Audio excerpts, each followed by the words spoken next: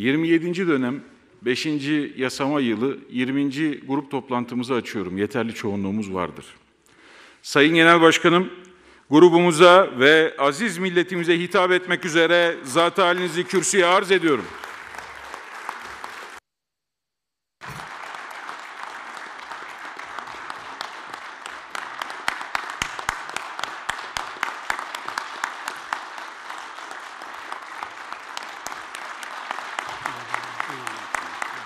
Partimizin bu haftaki olağan meclis grup toplantısına başlarken yüksek heyetinizi hürmet ve muhabbetle selamlıyorum.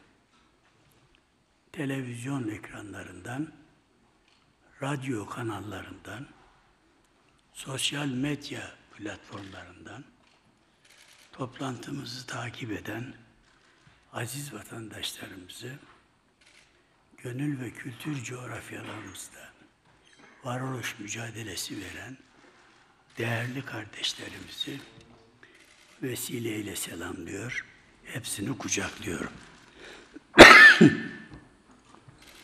Sabırlı ve sağlam bir hazırlık olmadan, samimi ve sağduyulu bir mizaç bulunmadan, sağlıklı ve sahici bir hedef koyulmadan, büyük keşifler gerçekleşemez, gönüllere giremez. Amacımız gönül kazanmak, gönüller yapmaktır. Amacımız milletimizin takdir ve tercihine masar olabilmektir. Niyetimiz halis, direngi noktamız Türkiye, nihai hedefimiz ilahü kelimatullah'tır. Biliyor ve inanıyoruz ki tomurcuk derdinde olmayan ağaç odundur. Bizim ne odunlaşmış kafalarla ne de odunluktan kurtulamamış anlayışlarla işimiz ve ilgimiz vardır. Fikir ırmağında ıslanmış her söz özü önümüze koyulan taştır. Fikrimiz köklüdür, faziletimiz engindir, fedakarlığımız aşkındır. Biz ne yapacağını, hangi vasıtaları kullanacağını, nereye ulaşacağını bilen ve bu doğrultuda bıçkın bir iradeyle mücadelesini sürdüren Türkiye sevdalılarıyız. Şayet nereye gittiğimizi tespit ve tefrik edemezsek, mukadderdir ki hiç beklenmedik, hiç umulmadık, aklımızdan dahi geçmedik sahillere, yara bere içinde çıkmamız kaçınılmazdır. Milliyetçi Hareket Partisi'nin siyaseti başkaları gibi icazetli, icar ve ipotek altında bir siyaset olarak görülemez. Milliyetçi Hareket Partisi'nin vizyonu kısıtlı, kırılgan ve kısa menzilli bir çerçevede tanımlanamaz. Milletimiz ne diyorsa sözümüz odur. Milletimiz neyi istiyorsa dileğimiz aynısıdır. Cumhuriyet'in 100. yıl dönümü olan 2023 Türkiye'nin kader ve karar yılı aynı zamanda tarihsel kavşağıdır. Bu bilinç ve kavrayışla siyasi faaliyetlerimizi günden güne yaygınlaştırıyor, istikrarlı şekilde yoğunlaşıyor, yoğunlaştırıyoruz. Şunu bir defa inançla ve iddiayla söylemek isterim ki, Milliyetçi Hareket Partisi'ni itibarsızlaştırmaya, oy oranının iniş halinde olduğunu göstermeye çabalayan kim varsa 2023'te nal toplayacak, hayal kırıklığının pençesinde bozguna uğrayacaktır.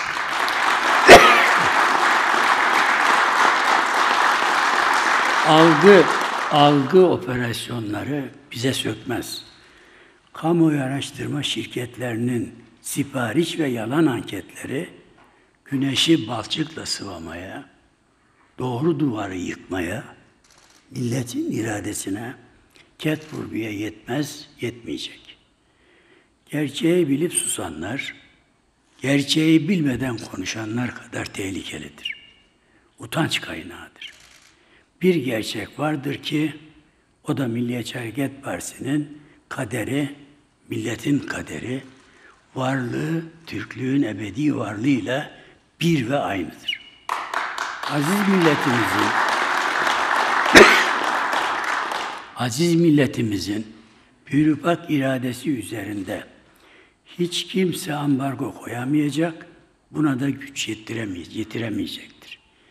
Bizim kiralık anket şirketlerinden öğreneceğimiz bir şey olmadığı gibi bunların sahtekarlıklarını aldanarak siyaset yapmamız da aklın ve 53 yıllık mazimizin inkarıdır.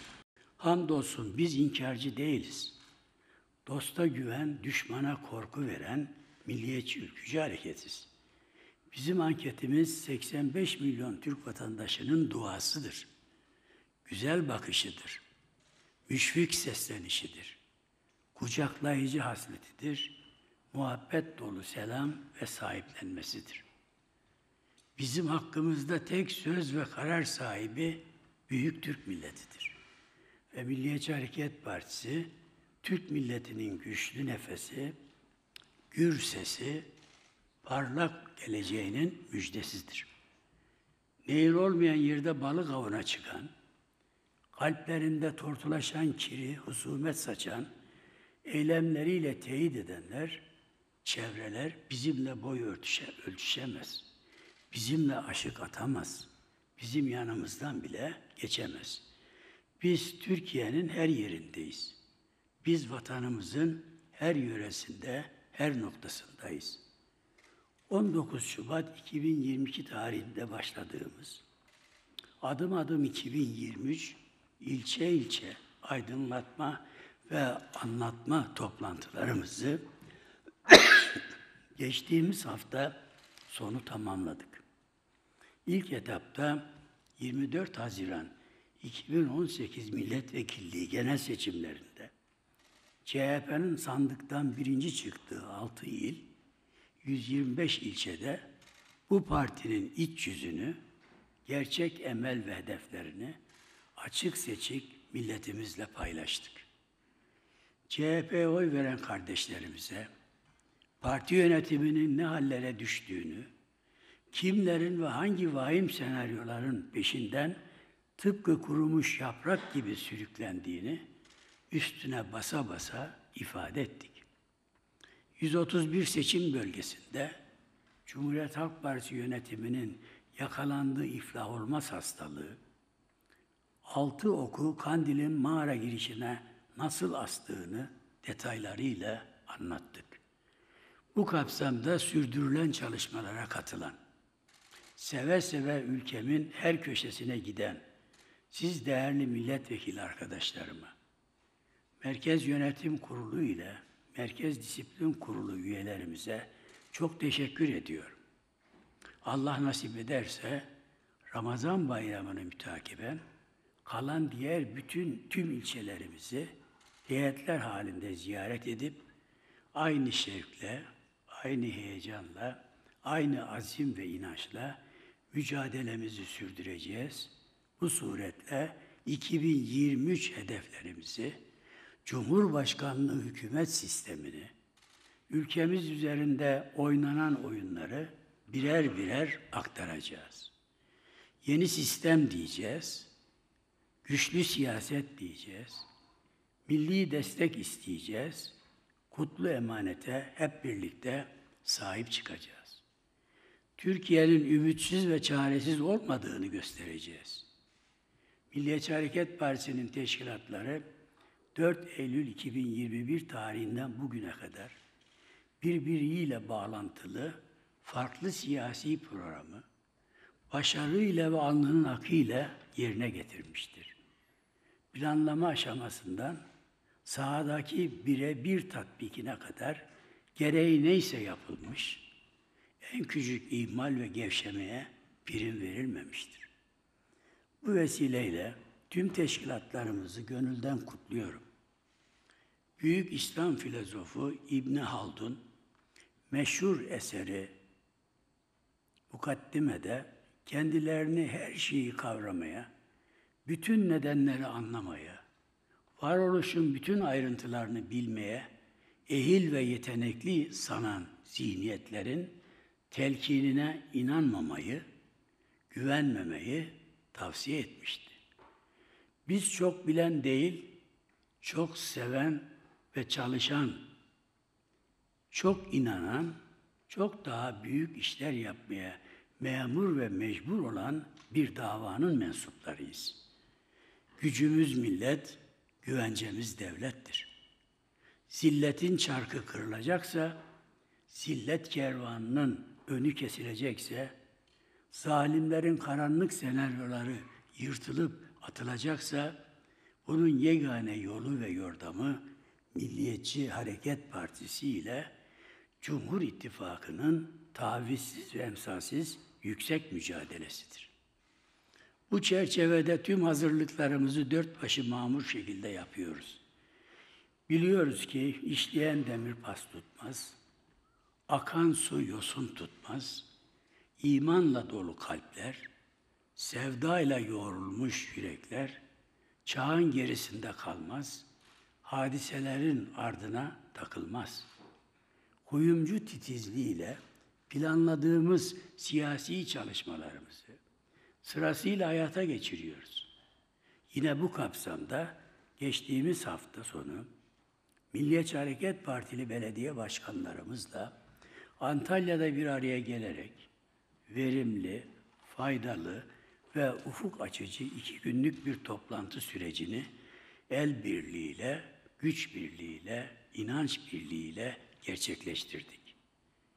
Belediye başkanlarımızın duruşları, tutumları, illerine, ilçelerine ve beldelerine şuurla hizmet etmeleri hem sevindirici bir gelişme hem de gelecek için umut verici, demokratik bir fırsat olarak bir kez daha teyit edilmiştir. Huzurlarınızda bütün belediye başkanlarımıza teşekkür ediyor. Görevlerinde üstün başarılar diliyor. Hayırlı ve güzel haberlerini beklediğimi özellikle dile getirmek istiyorum. Milliyetçi Hareket Partisi ve Cumhur İttifakı Türkiye'nin istikbal aydınlığı, istiklalinin güvenlik kilididir. Biz 2023 yılının Haziran ayına kadar durmayacağız. Durgunluk emaresi dahi göstermeyeceğiz. Sürekli bir adım önde olmanın gayesi ve gayreti içinde olacağız. Bir günümüzü boş geçirmeyeceğiz. Bir günümüzü diğeriyle eşit olmasına göz yummayacağız. Fitnecilerin tuzaklarına takılmayacağız. Şairin dediği gibi Mehmet'im sevinin başlar yüksekte, ölsek de sevinin eve dönsek de, sanma bu tekerlek kalır tümsekte. Yarın elbet bizim, elbet bizimdir. Gün doğmuş, gün batmış, ebed bizimdir. Geçmişin temelleri üzerinde yükselen kutlu bir gelecek ancak ve ancak onu hak edenlerin, ona layık olanların mükafatıdır. Bunu bilir, bunu söyler, buna inanırız. Biz muazzam bir tarihi özümseyerek, muhteşem bir geleceğin fecri olmaya, Türkiye'yi ve Türk milletini muasır medeniyetlerin üstüne çıkarmaya Cumhur İttifakı olarak sonuna kadar varız ve buna da kararlıyız. Değerli milletvekilleri, dünya genelinde barış, huzur, güvenlik ve istikrara duyulan özlem, insanlığın haklı beklentisi, ortak hedefidir. Daha adil, daha eşitlikçi, daha dengeli, daha güvenli, daha hür bir hayat kuşku yok ki her insanın amacıdır. Ekonomik çalkantılar, sosyal gerilimler, siyasal anlaşmazlıklar, simetrik ve asimetrik çatışmalar, huzur ümitlerini sistematik olarak baltalamaktadır. Terörizmin sancıları, aşırılıkçı ideolojilerin sakatlıkları, donmuş diyalogların ağır sonuçları, başarısız devletlerin savrulmaları, kitlesel ve düzensiz göçlerin neden olduğu çok boyutlu sorunlar artık hiçbir coğrafyayla sınırlı değildir. Devletler arası kutuplaşmaların varlığı kadar devlet altı grupların, paramiliter örgütlerin, dünyanın farklı bölgelerinde yürütülen hakimiyet mücadelelerine vekaleten katılan silahlı çetelerin iyice palazlandığı, geniş bir alana yayıldı. Bilinen ve yakıcı bir gerçek olarak malumlarınızdır. Bugünkü dünya tablosunda sayıları 85 milyona ulaşan insan ya da sığınmacı ya da mülteci durumuna düşmüş, yurtlarından ve yuvalarından kopmuşlardır. En son olarak Rusya-Ukrayna savaşı nedeniyle Türkiye'ye sığınan Ukraynalı sayısı 60 bini bulmuş. Bu sayı diğer ülkelerle gidenlerle birlikte 3,5 milyonu geçmiştir. Silahların konuştuğu yerde maalesef insanlık susmaktadır. Aynı zamanda savaş demek kıtlık demektir. Yokluk demektir. Tehdit demektir. Mağduriyet demektir.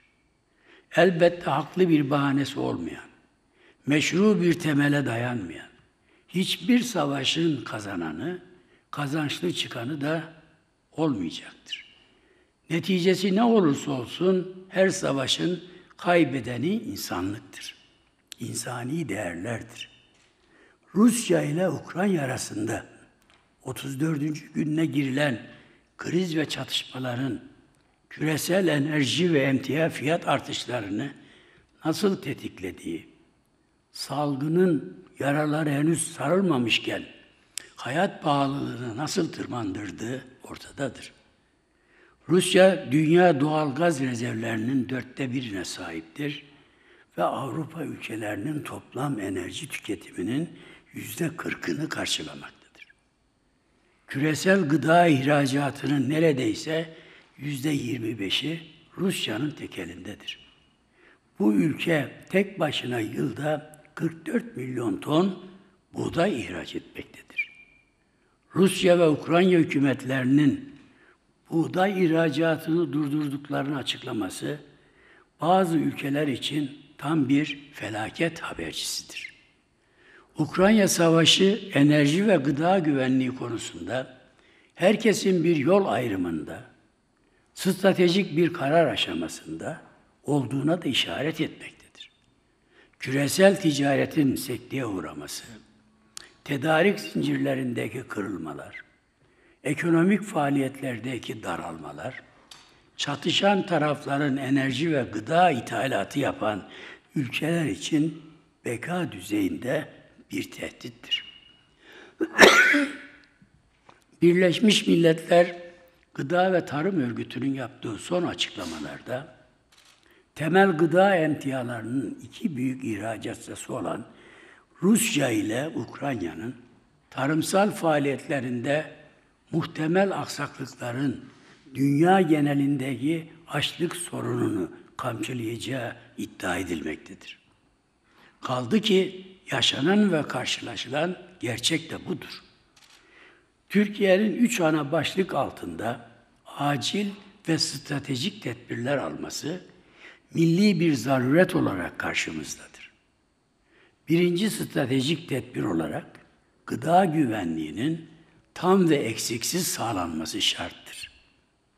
Konuyla ilgili Sayın Cumhurbaşkanımızın hassasiyeti, yaptığı açıklamaları, Tarım ve Orman Bakanlığımızın kayda değer ve önleyici adımları milletimizi rahatlatmaktadır. Milliyetçi Hareket Partisi tarım sektörünü Türkiye'nin varoluş mücadelesinin kemer taşı olarak değerlendirmektedir. Hem doyacağız, hem doyuracağız, hem de kendi kendimize yeten bir ülke olacağız. Bu nedenle ekilebilir tarım arazilerini genişletmek ve çiftçilerimizi desteklemek zorundayız. Bizim düşüncemize göre tarım sektörünün yüksek verimlilikle ve kaliteli ürün üreten, teknoloji kullanabilen, ülke insanını besleyebilen ve ihracat kapasitesi yüksek, büyümeye sürdürülebilir katkı sağlayan bir yapıya kavuşturulması esastır. Bu sektör üretim, işleme ve pazarlama boyutlarıyla bütüncül bir yapıya kavuşturulmalıdır. Üretici örgütlerinin güçlendirilmesine, tarımsal işletmelerin rekabet güçlerinin arttırılmasına ve pazarlama ağlarının geliştirilmesine ağırlık verilmelidir. Çiftçilerimize sağlanacak devlet desteği, ürünün arz ve talebini dikkate alan, üreticinin yoksulluğunu ortadan kaldıran, refah artışı sağlayan, girdi maliyetlerini azaltan, üretim maliyeti ve ürün fiyatı dengesini gözeten, afetlere karşı koruyan bir anlayışla yapılandırılmalıdır. Ülkemiz şartlarına uygun yüksek verim ve kalitede tohum, fide, fidan ve damızlık hayvan geliştirilmesi ve üretimi desteklenmeli, dış bağımlılığına son verilmelidir. Tarımsal ürünlerin çeşitlendirilmesi, verim ve kalitenin yükseltilmesi, yerinde işlenerek katma değer elde edilmesi, istihdam sağlanması, marka olarak pazarlanmasına dayalı temel tarımsal yapılanma oluşturulmalıdır. Bunun yanında yatırım ve teknolojiyi kırsal alanlara yönetmek üzere tarım sanayi entegrasyonunun sağlandığı kırsal cazibe birimleri olan tarım kentleri kurulmalıdır. Ülkemizde gıda güvenliği ve güvenilirliği çağdaş normala, normlara, herkesi kapsayacak ve koruyacak seviyelere ulaştırılmalıdır. Bizim bu alanlarda yapılacak her girişime desteğimiz tamdır. İkinci stratejik tedbir olarak enerji arz güvenliğinin temin ve takviye edilmesidir.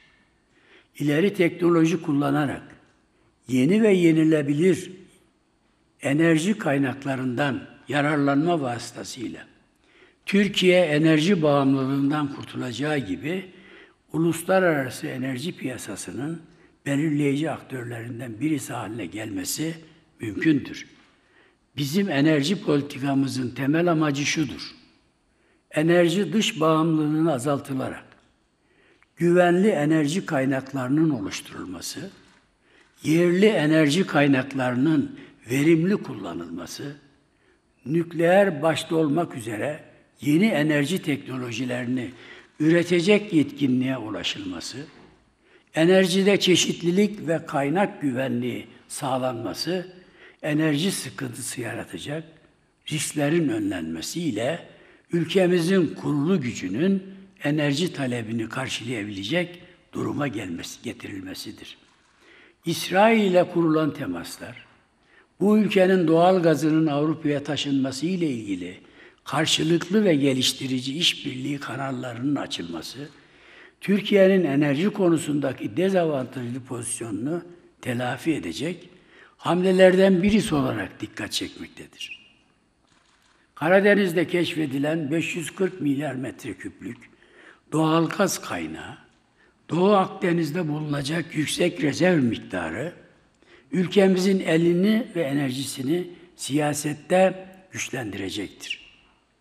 Bizim enerjimiz, bizim ekmeğimiz şayet doğru ve yerinde kullanılmasını bilirsek önümüze çıkarılan sanal engelleri aşma becerisi gösterirsek kesinlikle yetecektir.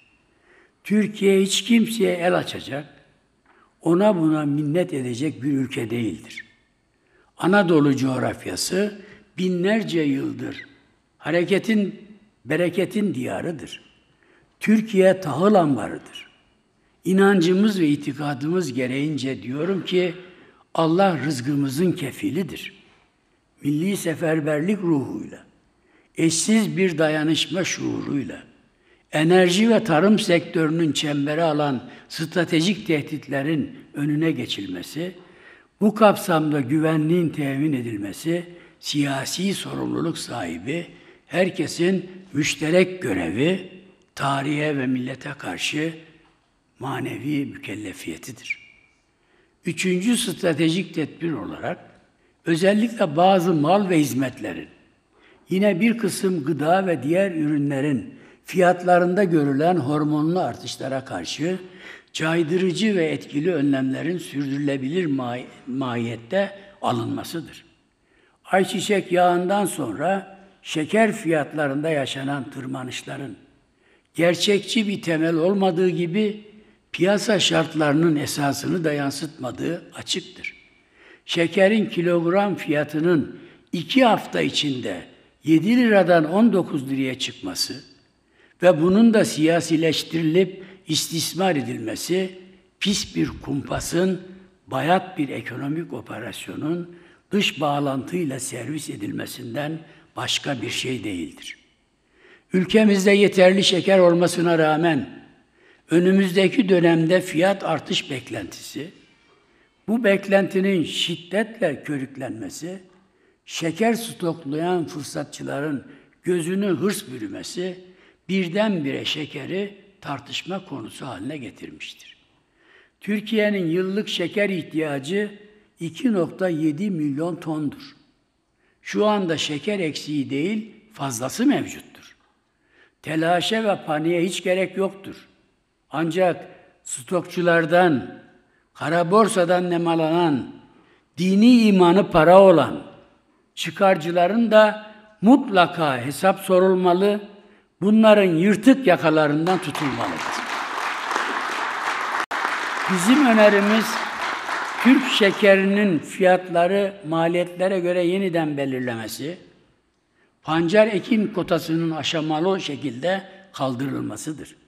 Esasen mesele ne ayçiçek ne de şekerdeki fiyat artışlarıdır. Dün domates, soğan, patates, batlıcan diyerek ortalığı karıştırmaya çalışanlar bugün farklı ürünlere bel bağlamışlar. Kendilerine alçakça ve kurnazca bir fırsat kapısı açmaya yeltenmişlerdir. Anlaşılan 2023'e kadar bu karanlık kampanya hız kesmeyecek, farklı boyut ve içeriklere bürünerek gıda güvenliğimizi ve sosyal bünyemizi tehdide devam edecektir. Ekonomik gerçeklerden uzak fiyat artışlarını siyasal itiraza dönüştürüp toplumsal kargaşaya yatırım yapanların kalbi taşlamış, Türkiye sevgileri buharlaşmıştır. Bunlar Firavun siyasetinin figüranlarıdır. Bunlar Türkiye'nin karşısına dizilen husumet ve huşunet aktörleridir. Enflasyonun ve bunun sonucu olan hayat pahalılığının geldiği noktadan doğal olarak biz de rahatsızız. Biz de müştekiyiz. Fakat zillete düşüp fiyat artışlarından siyasi propaganda konusu çıkarmaya heves edenleri de asla iyi niyetli göremeyiz, görmeyeceğiz. Devletimiz ve hükümetimiz tüm meselelere hakimdir. Türkiye'nin altını oymaya, toplumsal barışını bozmaya, huzur ve istikrarını sabote etmeye kalkışan zillet korosunu açık açık uyarıyorum. Ateş olsanız cürmünüz kadar yer yakarsınız. Bununla kalmaz, kendinizi de ateşe vermiş olursunuz. Kışkırttığınız, gölgesinde yattığınız, ömür bağladığınız yalan ve dedikodular ters tepecek, alayınızı birden rezil edecektir. Türkiye'nin 2023 iradesine geleceğe yön verme, dünyada imrenilecek bir seviyeye ulaşma iddiasına değil, zillet ittifakı onların ve arkalarındaki güçlerin yedi ceddi gelse yine de engel olamayacaktır. Muhterem arkadaşlarım, Rusya ile Ukrayna arasındaki savaşın neden olduğu yıkım ve yüksek tansiyon sadece mahut bir bölgeyle sınırlı kalmamış, tesirini pek çok ülkede az ya da çok hissettirmiştir. Türkiye iki ülke arasında barışın savunucusu, anlaşmanın ve uzlaşmanın arabulucusu olarak tarihi bir rol üstlenmiştir. Bir yanda Putin, diğer yanda Zelenski'nin ülkemizin tutumuna sürdürdüğü diplomatik performansa güven duyduğu anlaşılmaktadır. Sayın Cumhurbaşkanımızın Rusya Devlet Başkanı Putin ile en son telefon görüşmesinde iki ülke müzakere heyetlerinin bir sonraki toplantısının İstanbul'da yapılması hususunda görüş birliğine varılmıştır. Ukrayna'da bu gelişmeye sıcak yaklaşmıştır.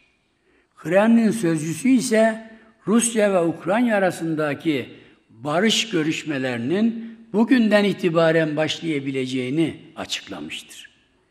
Bu tarihi nitelikli görüşmenin şu sıralar Cumhurbaşkanlığı Dolmabahçe Çalışma Ofisi'nde başlayacağı anlaşılmaktadır. 10 Mart Antalya zirvesinden sonra ateşkes ve barış arayışlarının İstanbul'da yeni baştan ele alınacak olması bizleri ihtiyatlı bir yaklaşım içinde umutlandırmış, Türkiye'nin dengeli, tutarlı ve tarafsız politikalarıyla güvenilir bir ülke olduğunu tescillemiştir. Dileğimiz ve temennimiz Putin ile Zelenski'nin yüz yüze görüşmelerini en kısa zamanda İstanbul'da yapması, savaşı barışla düğümlemeleridir. İnanıyorum ki dünyanın beklediği çözüme bir adım daha yaklaşılmıştır. Türkiye hakem ülke olarak kalıcı barışın hadimi olduğunu bir kez daha ispat etmiştir. Biz çatışmaların son bulmasını, statükonun yeni baştan ele alınmasını, ateşkes rejiminin acilen tesisini arzuluyoruz. Ne ibret verici bir çelişkidir ki, geçmişte orak çekiş filamasını sallayan, Rusya yanlısı olarak mangalda kül bırakmayan, gedikli Marksist, Leninist ve sosyalistler bugün bir numaralı Amerikancı kesilmişlerdir. Rusya'nın karşısında Batı'nın sözcülüğünü yapanlar hastalıklı sömürge kalıntıları olduklarını acıklı şekilde göstermişlerdir.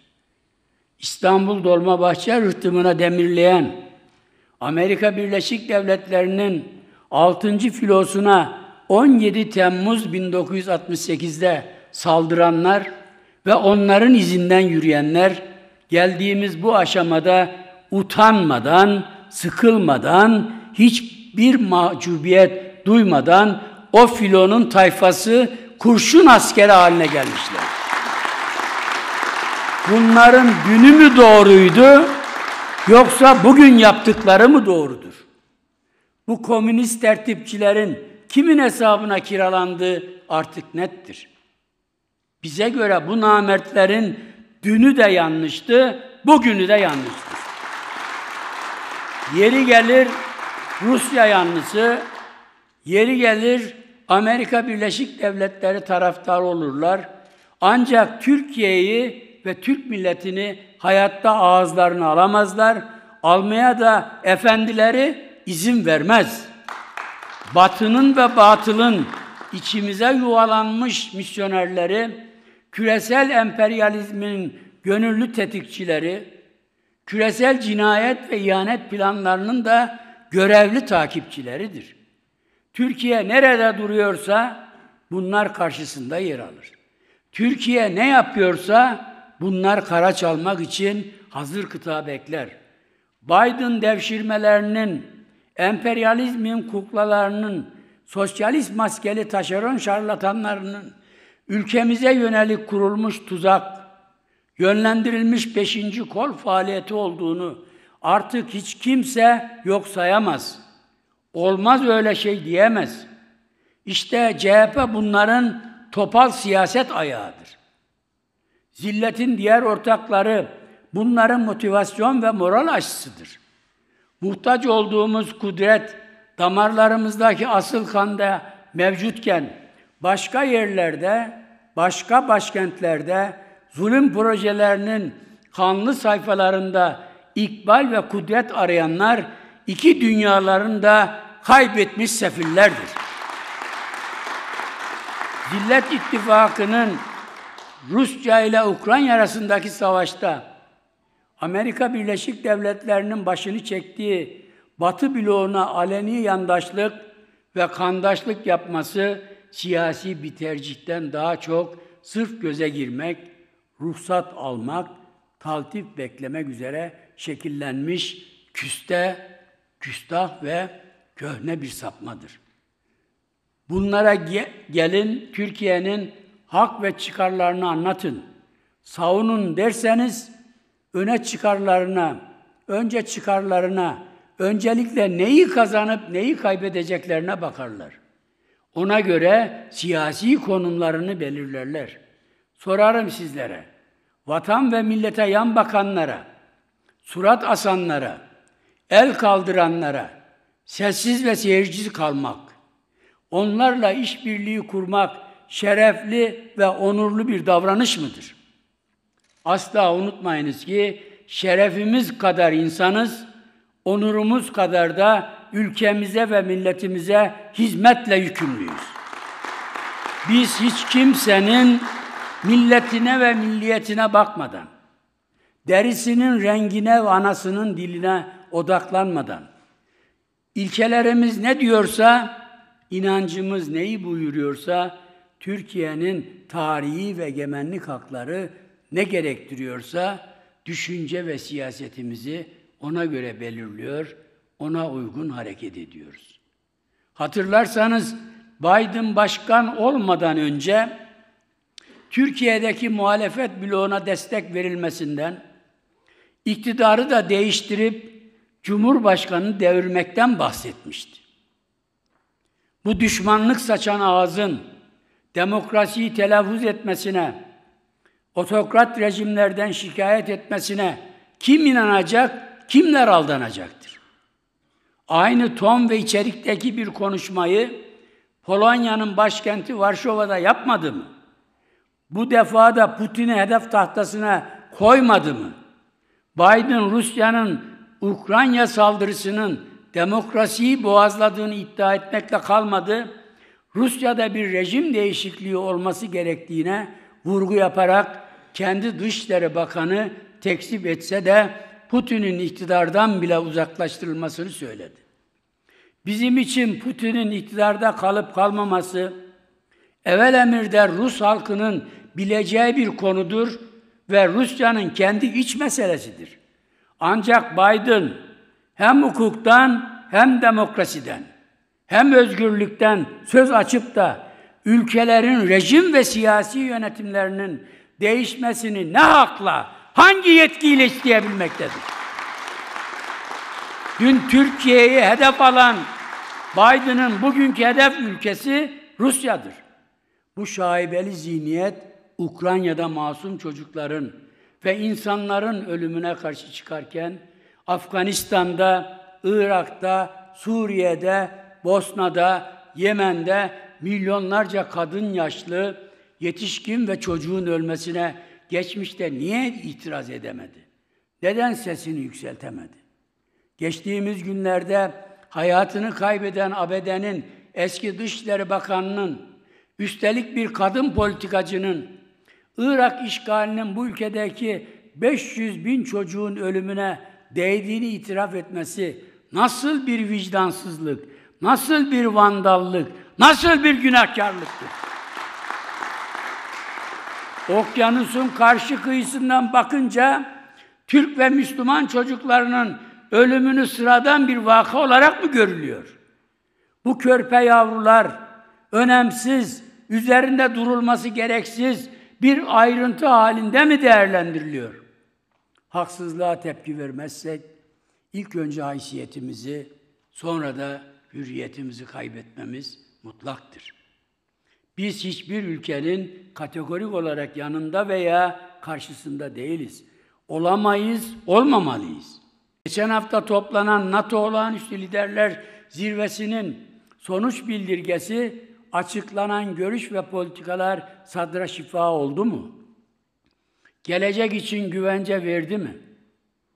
Yapılan yorumlara baktığımızda Gözümüze çarpan ilk iddia bu zirvenin ittifakın yakın tarihinde benzeri görülmemiş bir kararlılık ve dayanışma gösterisine sahne olduğudur.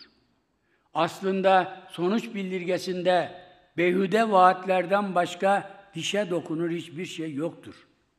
Rusya'yı mümkün olan en sert ifadelerle kınadığını açıklayan NATO, Ukrayna'ya yardımın süreceğini, Macaristan, Slovakya, Romanya ve Bulgaristan'a ilave muharip birliklerin yerleştirileceğini dünya kamuoyuna duyurmuştur.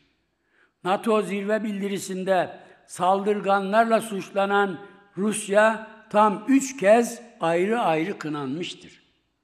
Bu ülke önce Ukrayna'yı işgal nedeniyle mümkün olan en kuvvetli şekilde daha sonra kadınlar, çocuklar ve korumasız durumda olan insanlar da dahil olmak üzere sivillere hedef alan yıkıcı saldırılardan dolayı son olarak da nükleer santralleri tehlikeye düşürecek şekilde sivil altyapıyı dönük saldırılar nedeniyle ayrı ayrı kınanmıştır.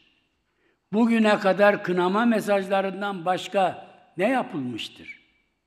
Ukrayna Rusya savaşının devamını isteyen güç merkezleri bellidir. Hepsi bilinmektedir.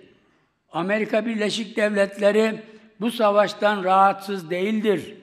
Bilakis uzamasından ve şiddet dozunun arttırılmasından yanadır.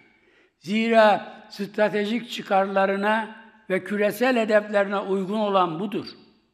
Kıyılarımıza kadar yüzen serseri mayınların kimlerin tezgahı olduğu, iğne adaya kadar nasıl geldiği, Türkiye'nin başına nasıl bir çorap örülmek istendiği işin özünde muamma değildir.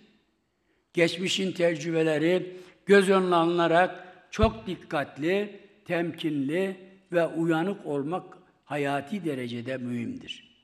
Yine bu savaş çerçevesinde zayıflayan NATO ve transatlantik bağlar yeniden güç toplamıştır. Kanlı savaş NATO'ya yeni bir ruh katmış, kurumsal işleyişini güçlendirmiş, öldüğü söylenen beyin yeniden çalışmaya başlamıştır. Yani Amerika Birleşik Devletleri'nin başını çektiği NATO, Rusya ile Ukrayna arasındaki şiddet ve dehşet rekabetinden kazançlı çıkmıştır. Zaman zaman NATO'nun genel tutumuyla ters düşen Almanya hükümeti ise Rusya ile enerji ticaretinin tamamen durdurulmasının mümkün olmadığını ileri sürerek uygulanan yaptırımları kırmıştır. Sevsek de, sevmesek de, beğensek de, beğenmesek de Türkiye NATO üyesi bir ülkedir. Aynı zamanda ve ne yazık ki bizzat ittifak ortaklarının yaptırımına muhatap kalan da bir NATO ülkesidir. Buna rağmen takip edilen politikalar milletimizin arzu ve beklentilerine uygun olup Türkiye hiçbir ittifakın, hiçbir ülkenin kule nöbetçisi, sınır devriyesi, cephe ülkesi, gözü kapalı, kapalı silahşoru değildir, olmayacaktır. Biz ne Rusya'dan ne de Ukrayna'dan taviz veremeyiz. Birisini diğerine tercih edemeyiz. Başkent Ankara'nın tarihi vizyonuyla hareket eder, barışın, huzurun, kalıcı çözümün mütevasını ahlak ve akıl dolu bir siyasetle egemenlik haklarımıza halel gelmeden yaparız. Bunun da hayırlı sonuçlarını Allah'ın izniyle alırız. Değerli milletvekillerim, Zillet İttifakı partileri gündemin gerisinde kalmanın zannediyorum telaşına kapılmış olacaklardır ki yeni bir toplantıyla günü kurtarmanın peşine düşmüşlerdir. İkinci 28 Şubat bildirisinin toz bulutu içinde Zillet İttifakı, Türk polisine işkenceci diyen devasız ve edepsiz zihniyetin ev sahipliğinde ama bu defa Atatürk posterlerinin duvara asıldığı bir odada yine yuvarlak masa etrafında bir araya gelmişlerdir. Daha önceki toplantılarına 6 artı 1 formatında yapan bu partiler şimdi kuytulcuları da alarak sayıyı 6 artı 2'ye çıkarmışlardır. Masa altına saklanan sabıkalı ve suçlu sayısı böylelikle ikiye ulaşmıştır. Bu ittifakın adı zillet olduğu kadar aynı zamanda Kuytul İttifakı olarak hafızalara kazınmıştır. Gönül ister ki dürüst olsunlar, mert olsunlar, HDP ile Kuytul'da yanlarını alarak yuvarlak masanın çapını genişletsinler. Ne var ki yapamazlar, yapmaya yürekleri yetmez. Altı siyasi partinin ortak imzasıyla yayınlanan bildiride yine hiçbir şey yoktur. Kılıçdaroğlu altımız da birbirimize benziyoruz derken Allah var ya doğru bir noktaya temas etmiştir. Bizim de dediğimiz aynısıdır. Ancak yedekte bekleyen, masa altında sıkışıp kalan, siyasi bölücülerle münafık soytarı kuytulu da ihmal etmemesi tavsiye ve temennimizdir. Zillet İttifakı partilerin ortak açıklaması evlere şenlik, trajikomiktir. Altına imza attıkları metnin bir akıl tutulmasına, vahim bir çarpıklığa ve baştan ayağa tutarsızlıkla çanak tuttuğu hakikaten belgelenmiştir. Dünya, Türkiye'nin iç dış politikadaki stratejik ve mukayeseli yükselişini konuşuyorken, bu zillet ittifakı anlaşılan gelişmeleri tribünden izlemekte, gerçekleri itiraf ve ifadeden aciz ve mahrum kalmıştır. Rusya ile Ukrayna arasındaki krizin akılcı, tutarlı ve ülkemizin orta ve uzun vadeli stratejik menfaatlerini dikkate alan bir dış politikanın önemini bir kere daha gösterdiğini iddia etmişler ve yüz kızartıcı bir yanlışın faili olmuşlardır.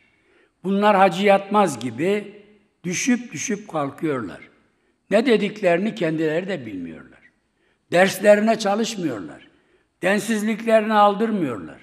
Altı partinin ortak açıklamasında yer bulan bu saçma sapan değerlendirmeye karşı biz de diyoruz ki hepinize geçmiş olsun. Bu yakaladığınız illet hastalık gözünüzü perdelediği gibi vicdanınızı da pençelemiştir. Yazık size. Ayıp size. Türkiye'ye bu kadar mı yabancısınız? Bu zilletin kendine hayrı yoktur. Ülkemize de hayrı nasıl dokunacaktır? Bunların cüretleri cehaletlerinin eseridir. Kemal Kılıçdaroğlu sözde darbe davaları sanıklarını tekrar yargılamaktan bahseden selamsız babacanın yüzüne nasıl bakabilmiştir? Buna karşılık cevabı ne olmuştur? Sayın Kılıçdaroğlu burunlarından fitil fitil getireceğiz haykırışını bu selamsızın gözünün içine baka baka söylese de sözünün arkasından mısınız, değil misiniz öğrenelim.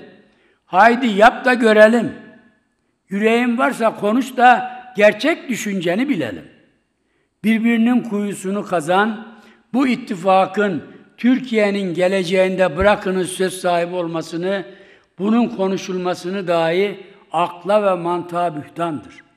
Türk milleti bunlara müsaade etmeyecek, 2023 yılının Haziran ayında sandığa gömecektir. Değerli milletvekilleri, başı rahmet, ortası mağfiret, sonu ise cehennem azabından kurtuluş olan Ramazan, üç ayların sonuncusunu 11 ayın sultanıdır. Bu hafta sonu müşerref olacağımız bu kutlu ay inananlar için bereket ve bolluk vahası, sabır, merhamet, hoşgörü ve paylaşma mevsimidir. Aynı zamanda ve daha önemlisi doğru yolun hak ile batılı birbirinden ayırmanın açık ve parlak bir delili olan yüce kitabımız Kur'an-ı Kerim'in indirildiği aydır. Bu ay içinde muhtaç ve yoksul kardeşlerimiz hatırlanmalı. Geliri ve imkanı yerinde olan insanlarımız gösterişe düşmeden bu kardeşlerimize yardım ellerini uzatmalıdır. Bilhassa ekonomik durumu elverişli vatandaşlarımızın temel gıda ürünlerine erişme zorluğu çeken kardeşlerimize marketlerden alışverişlerini yapabilmeleri için belirli bir parasal tutarı ihtiva eden dayanışma ve kardeşlik kartını ulaştırmaları Ramazan ayının mana ve ruhuna müzahir bir davranış olacaktır. Nitekim bu kutlu ay yardımlaşma ve paylaşma ayıdır. Bu manevi sorumluluğu yerine getirmek de hepimizin görevidir. İnsanlığın maruz kaldığı belaların dallanıp budaklandığı bir dönemde nefis terbiyesine, kalp temizliğine, vicdan tefekkürüne, huzur tecellisine çok ihtiyacımız vardır. Bu ihtiyaç hali her geçen gün daha da önem kazanmaktadır. Maalesef insanlık tehlikeli bir girdabın ortasında, çözümü gittikçe karmaşıklaşan girif bir bulmacanın odak noktasındadır. Açlık, yokluk, yoksulluk, yolsuzluk, terör kıtalara ambargo koyarken ilkel dürtüler, ilkesiz yönetimler, iradesiz yöneticiler, itibarsız zihniyetler ne yazık ki beşeriyetin susadığı barış, huzur ve refah ufkunu da kapatmaktadır. Ramazan ayında sabır ve sükunet içinde orucumuzu tutup ibadetimizi yaparken manevi muhasebeyi, insanlığın hal ve gidişatını mutlaka gözden ve gönülden geçirmeliyiz. Bilinmelidir ki hayallerimizin sınırı yoktur. Ülkülerimizin eşi ve emsali yoktur. Duymayan kulaklara, görmeyen gözlere, mühürlenmiş kalplere tekrar hatırlatırım ki biz Türk milletiyiz, biz Türkiye'yiz, biz bin yıllık kardeşliğin bakiyesiyiz, binlerce yıllık Türk tarihinin vicdanıyız. Ramazan ayımızın nice manevi güzelliklere vesile olmasını, mükafatını yalnız Allah'tan beklediğimiz oruç ibadetimizin kabulünü niyaz ediyorum. Aziz milletimizin, Türk İslam dünyasının ve siz değerli arkadaşlarımızın Ramazan-ı Şerifini şimdiden mübarek olsun diyorum.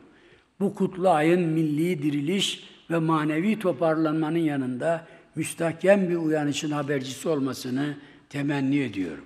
Bu duygu ve düşüncelerle sözlerime son verirken hepinize hürmet ve selamlıyor, başarılarla dolu bir hafta geçirmenizi istiyorum. Sağ olun, var olun.